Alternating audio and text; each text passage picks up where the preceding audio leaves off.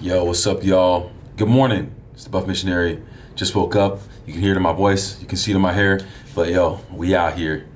Gonna get into another video here and just an insight that I got combining a few events from the last couple days. But before we get into that, as always, like, subscribe, share, hit the bell so you don't miss any future videos or any of these vlogs. Or just if you have an interest in following my journey in spiritual things and, and my relationship and experience with God. Uh, so thank you, appreciate that. And I want to jump right in and give you a little bit of context. So, uh, regarding my family and the situation, things are interesting as always. Uh, my mom's been home now for a couple weeks, and things. I can't say that they've changed all that much from how they had been before. Maybe not as uh, animated, but still some of the same things are there. And at least for me, it ends up raising some questions uh, that I had been really struggling with trying to find an answer to. So I was on the phone talking with my dad, and uh, we we were able to catch up for a little bit a couple days ago, just talking about how he's adjusting and uh, the experience for him, talking about my brother and siblings, and you know just reaching out to everyone trying to figure out how things were going. But the odd thing was, in terms of just talking about it amongst the family, that's that's kind of normal. Uh, I have shared about this here in a video form, but I don't necessarily go like around to every group of people that I physically see and like, hey, guess what's going on at home? Like, I'll I'll be more general and say, hey, pray for my mom, pray for family, things like that. Uh, unless directly asked about it, if people show concern and they want to know, then I'll do that. And that's what happened yesterday. So I was with a really good friend of mine. We were in Chicago, and they had something going on with St. Patrick's Day. We had no idea. So I decided to keep the flow going with this green background. they dyed the river green and all that kind of stuff, so it was cool to see that. But anyhow, we ended up getting some food and uh, finding a place to chill and eat. And I asked her a question. I said, uh, what's what's your greatest fear? We were going back and forth talking about a bunch of different stuff, uh, learning learning different things and so on. And she responded and and then turned the question back onto me. And I don't know for some reason, uh, this is one of those questions that, and I'm sure you've been there before. You ask the question and you're looking for an answer because you want to learn more about the person and so on, but you don't expect it or you're not really prepared for it to get turned back onto you. this was one of those questions. And I had to sit there and think about it like, you know, what am I what am I scared of? What am I afraid of? And I was able to kind of share there a little bit about how I actually feel about things going on at home, the questions that I had, the things I was talking about with my siblings and my dad from a couple days ago. And this time it was more reflective. I was getting to process it out loud, to hear it. And I can't lie, at the moment where I actually expressed the thought, and I'll, I'll get to that in a second, uh, I almost, I, I felt like uh, I was going to cry for a second, for a second there, all right? It was, it was for a quick second, all right? but I, I explained it like this. You know, the big question that I had really been wondering is when you deal with the mind, when you deal with something that's going through a lot of trauma, a, a lot of uh, a struggle, a, a, a great struggle, and there's this kind of roller coaster with it, you know, you have the high points when things are more or less coherent, you can have good conversations, uh, you can dialogue with that person that you love. You feel like they're there even if they might not feel to 100% there's still something there someone there you can connect with right? But in the state of where the the mental issues really take over like it's it's kind of crazy because the mind is a powerful thing the the mentality that where the struggle is it views me, my brother, and my sister as if we don't exist. So, you know, you go from one side of things, being able to relate to uh, your mother, and having a conversation and having a relationship there. And then you go to this other extreme where, because of the struggles that that person is going through uh, mentally, you you literally don't exist in that reality. And it's not even the point of like we don't exist, but it's actually that we're all like dead. And I don't I don't know how that works because I don't know enough about how the mind works. And I definitely don't understand or know all the different struggles at all that somebody could be going through. But it's tough because, you know, to avoid going into a long kind of story about this, but that that belief or that mindset about me and my siblings poses a lot of issues when it comes to trying to relate back to my mom in, in, in, that mental state because of some of the other things that kind of come along with the mental state. So it really puts us in a position where our hands are tied and there's there's not a good outcome that can come from us reaching out because of those other things. So again, going back to this roller coaster and these two divergent extremes of mentality. And I'm I'm sitting here thinking as I'm talking with my dad, I was like, you know, man, I got a, I got a question for you. When when we're considering the mind and how it works and how things may break down, how how long does something need to go? How far does something go before the person that you once knew is no longer there? You know what I mean? Like to to get that glimpse of the person you knew and the person that you're used to loving. That that person only shows up every so often. The majority of the times i talked with my dad about it it's like i don't know if it's if it's between like a 60 40 or a 70 30 in favor of uh, us having to deal with the mental struggle side of things versus actually getting to uh, appreciate the relationship and the person that is my mom. But it, it's becoming harder and harder over time to see her there. Like I know who she is. Like don't don't get it twisted. I know exactly who she is. I know the things that she's done for me. I know the things that I appreciate from her. I know the things that I've learned from her. But because of the struggle that's going on inside the mind, sometimes that person becomes harder to see and to recognize in what we're able to see right now. And it's tough. If any of you out there have any relatives or family that are going through a mental health struggle, you know exactly what I'm talking about. And you know, I I can't even really say I'm upset for myself or feeling down on myself because I know there are so many other people who have to deal with the same struggle as well. I am not here talking about this because I have the grand answer or the solution to the problem. I don't. All right. I'm talking about it because I realize there's something about the way that I relate to this and the in the way that I relate to God that's connected and I want to be open and sharing my struggle and my experience with you uh, if it can be a, a blessing to God and a benefit to you as you may be going through something similar. So that was the question. Like, how how far do things go before it's like the person that we we know and, and that we love is is gone?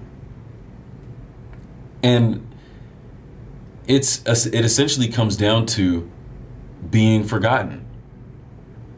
It's like, am I, me and my my siblings, are we are we destined to have to be around and in the same existence as our mom and yet for her not to know that we are alive and, and care about her? Is is that what our fate is in this situation? I don't know. I don't know. But i told my friend yesterday like that that's my greatest fear is to see my mom, to know everything that I do about her and the things that I care about and, and love about her, and to think that she has no idea that we're alive, that I'm alive, and that we care. Forgotten. We don't exist anymore. You know, I had a bit of that on my mind. Obviously, that's that's kind of heavy. I had a bit of that on my mind as uh, we continued through the day out there and coming back. And this morning, I get up and I jumped into the Word, reading the Bible, and again, we're going through this this funny experience where I started in Isaiah 55 and I'm reading through the book backwards. Didn't even start at the very end of the, the book. 55 was just kind of arbitrary, but it's been really cool to see how even reading through backwards, I'm finding things that are matching up with the experience as I need them in real time. So I'm going to share with you what I read this morning combined with something else that happened yesterday just to give you kind of how I've been able to find peace in this moment. So I made it back reading through Isaiah 33 today, and the the subheading for the chapter is called a prayer in deep distress. It matches. It matches. and the thing I love about this Remnant Study Bible, once again, you see it here. Go ahead and get you one if you're looking for a Bible with some more insight. I like it.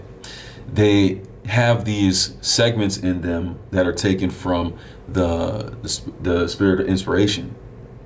So this one right here has a quote that's from the Great Controversy, which you wouldn't normally expect. Maybe I don't know when you're looking at a chapter that's talking about a prayer in deep distress, but the big heading right on the box here, and I'll show it to you. says God doesn't forget His people. God doesn't forget His people.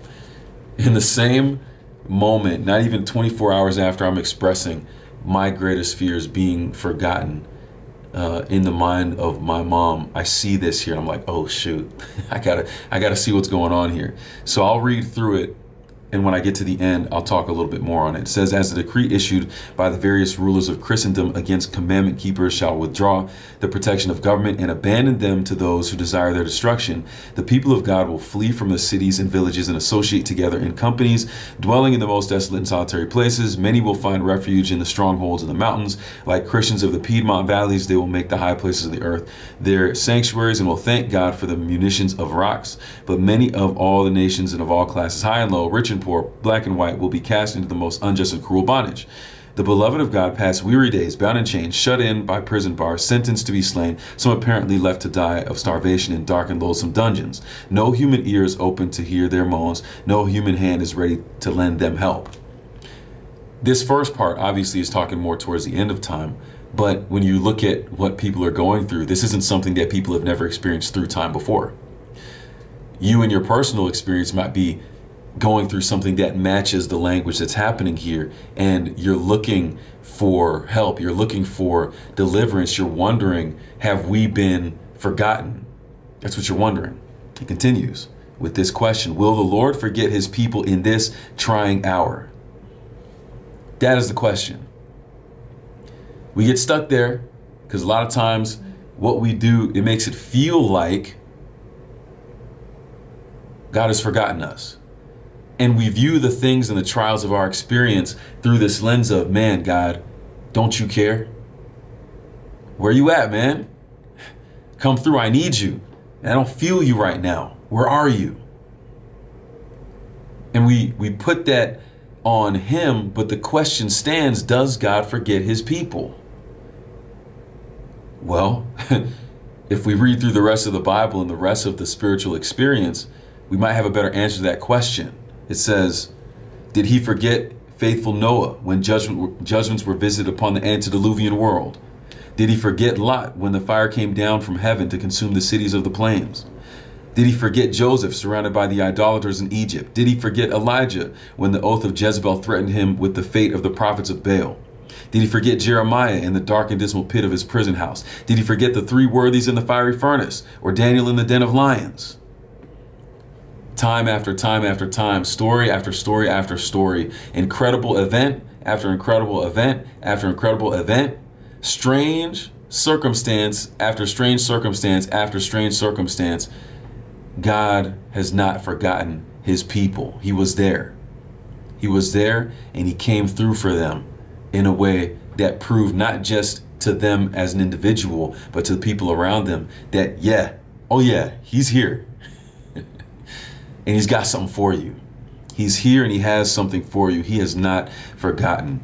Last part here says Zion said, The Lord has forsaken me and my Lord has forgotten me. The question follows Can a woman forget her sucking child that she would not have compassion upon the son of her womb? Wow. You talk about a verse that right now is hitting right to the core. That's what it feels like for me. That's what it feels like for my brother and my sister. But the verse concludes with this yeah, they may forget, but I will not forget you. I will not forget you. Behold, I have graven you the, upon the palms of my hands.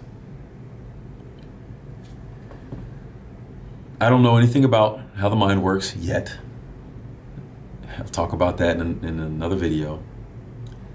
I don't understand what goes on in the minds of people who have these mental health struggles. I don't know what it's like for them to see out upon the faces of those that they used to recognize and now they, they view them as nobody. I don't know about any of that, but I do know that God has not forgotten me. He hasn't forgotten us. He hasn't forgotten you. And there's hope there. There's hope there. I asked my friend yesterday what her favorite Bible verse was. And she told me Ephesians 1:11. That was the, that was her favorite verse of choice at the time. Though she said she wanted to get a new one. but she returned the question again, what was mine? And I said, well, without a doubt, Isaiah 40, verses 28 or 27 to, to 31. And oddly enough, now, because of how much I've recited it in Portuguese, I actually know it more accurately and more completely in Portuguese than I do in English. But where, where is this, real quick? I want to share with you just the beginning part that stands out so much to me. Why do you say, O Jacob, and speak, O Israel, my way is hidden from the Lord, and my just claim is passed over by my God? How often do we feel that in the midst of our struggle, in the midst of our trial, we feel like God is not watching us, that He can't see our path. He, he's completely unaware of where we are going. We we have things that we believe are coming our way that are justly due us and yet it's not happening and we're wondering why and we put that on God as if he doesn't care as if he's not there as if he's forgotten us verse 28 have you not known have you not heard the everlasting God the Lord the creator of the ends of the earth neither faints nor is weary his understanding is unsearchable he gives power to the weak and to those who have no might he increases strength even the youth shall faint and be weary, and the young men shall utterly fall. But those who wait on the Lord shall renew their strength. They shall mount up with wings like eagles. They shall run and not be weary. They shall walk and not faint. In the times where we forget that God never forgets us, in the times that we think that our struggles are so great that it must be an indicator that the Spirit of God is not with us. In a time where the fears that we have about our lives and our existence are so strong that it, it seeks to cripple us and break us down. Don't forget who God is. Don't forget the power that He has. Don't forget that He created this whole thing. He created you and me, and He has the ability to do something, and that He never forgets you. He's there. Trust in Him. Believe in Him. I'm not saying it's going to be easy. And I'm not going to I'm not going to say that you'll always feel immediately better right away, but what I can say is the odds of me feeling better are much better by trusting in him than trying to trust in myself. I will take those chances. So, believe in God, believe in the power that he has, and believe that he hasn't forgotten you because that's the truth. I'll end this right there. Been talking for long enough. If you got something from it, let me know. Drop a little something in the comments or like, subscribe, share, and hit the bell. but until next time, it's the Buff Missionary. We out here and we out. Peace.